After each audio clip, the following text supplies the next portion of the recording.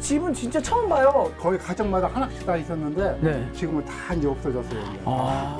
아니 이거 뭐 와.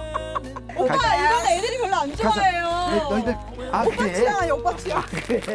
혼자서 다 하시려면 근데 힘들어도 어쩔 수 없잖아요. 부모님 계시고 어머니가 계시고 그렇게 하니까 다 해야 되니까 오래오래 지금같이 건강하게 오래 살으세요. Yeah, you've got a friend in me.